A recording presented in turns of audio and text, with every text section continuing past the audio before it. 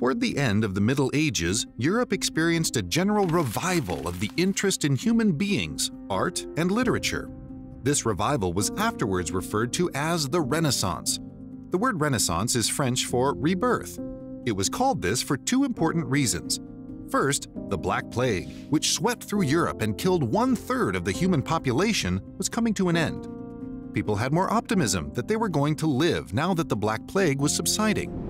Second, the movement was a revival in academic matters and appreciation for the power and beauty of the human being. It felt like an escape from the Dark Ages. The spirit of optimism and free inquiry swept through Europe and caused a revival, especially in arts and literature. It may be helpful to draw a few contrasts between the Dark Ages and the Renaissance. In the Dark Ages, in Europe, ideas about art and education were controlled by the Roman Catholic Church. Artists and educators use religious methods to meet religious goals. In the Renaissance, the focus became people and creation rather than heaven and angels. The methods artists and educators used in the Renaissance were driven by the skill of human observation and science. Research and discovery in the Renaissance era were for the sake of discovery, wherever it would lead. In the Dark Ages, it seemed that research was intended to support the status quo, whether in politics or the church. Therefore, Renaissance thinkers and artists were regarded as rebels, to a degree. As Renaissance ideas traveled northward across the Alps into Germany and Switzerland, the movement came to be known as humanism because of its emphasis on the human mind and body. Portraits of saints in the Dark Ages were darker in color and somber in mood. People were portrayed as suffering or waiting on God to deliver them. The human mind was tortured by spiritually dark forces and the heaviness of sin.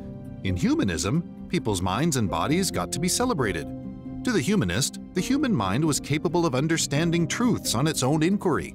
People did not need to be spoon-fed the truth of the church. They could research and come to their own conclusions. The human mind was valuable, and the human body was valued as well. Renaissance art revived realism that celebrated the nuances of the human body. Veins, muscles, shadows, eyes, and other parts of the body were carefully researched and represented in art.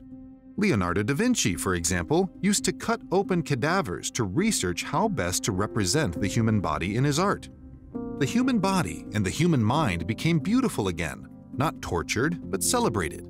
In the Dark Ages, portrayals were especially made of famous people, but in the Renaissance era, common people with their common lives were also portrayed in art.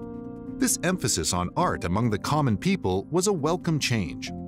The ancient Greeks were not afraid to celebrate the beauty of human anatomy. This trend revived itself in the art of the Renaissance. The Renaissance itself can be traced back to Florence, Italy, during the height of the power of the Medici family. The plague hit the town of Florence hard. In 1348, about 40% of the town's population succumbed to the plague.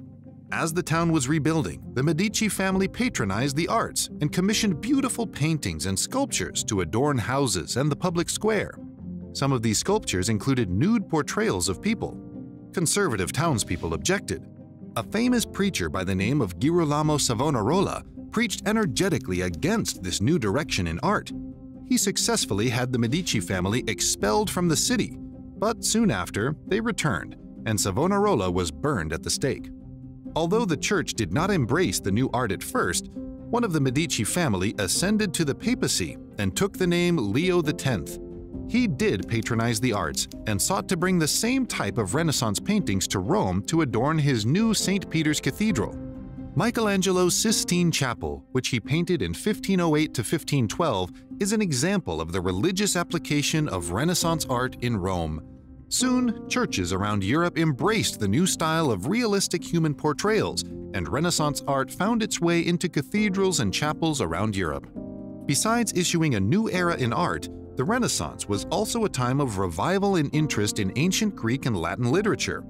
As Muslim troops made further inroad toward Constantinople, even in the 14th century, Greek scholars began removing some important ancient Greek literature from Constantinople's collection and transferring it west. When the Greek scholars and classic Greek literature arrived, it sparked a renewed interest in the Greek language and literature. One of the most helpful contributions to the Church of this newfound interest in ancient Greek literature was improved studies on the New Testament.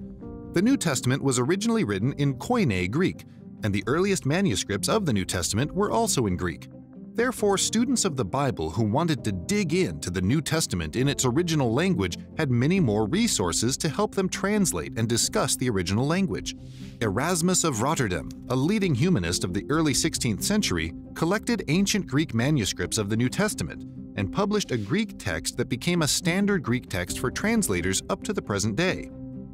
There was also a renewed interest in classical Latin literature such as Cicero, Virgil, and Horace literary experts began engaging in literary criticism, in which various sources of the same writing were compared and contrasted to figure out which source contained the correct form of the earlier writing.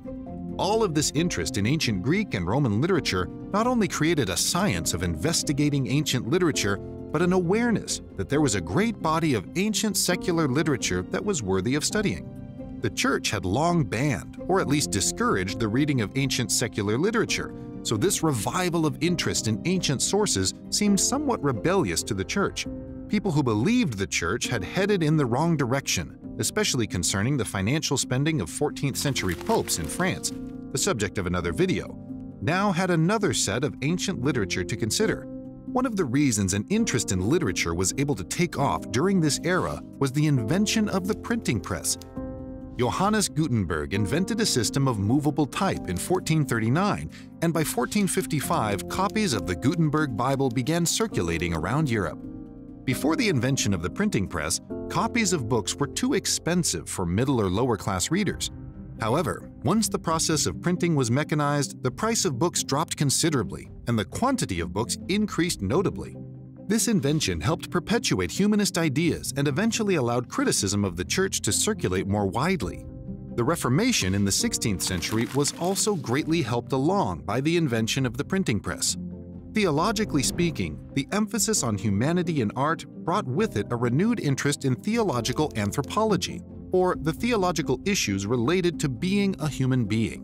Erasmus, for example, wrote, On the freedom of the will, which claimed that both people and God are essential to a person's receiving grace. Whereas the thought of the Augustinian scholars throughout the Middle Ages was that salvation is completely a matter of God's grace, Erasmus suggested that people actively use their free will to choose God. The Renaissance prompted theological questions about the abilities and properties of human beings as a primary subject of inquiry. The Renaissance and humanism, which surfaced suddenly after the subsiding of the Black Plague, started in Italy and moved northward as far as Scotland. It revived an interest in the human body and mind, as well as an interest in classical Greek and Latin literature. It would be one of several waves of secular thought that would challenge the assumptions and traditions of the Christian Church.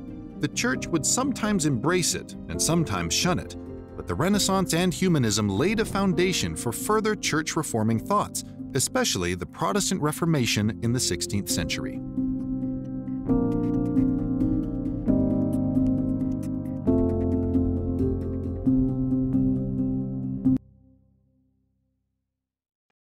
Thank you for watching this video. Don't forget to like and share, and make sure you subscribe so you don't miss any future videos.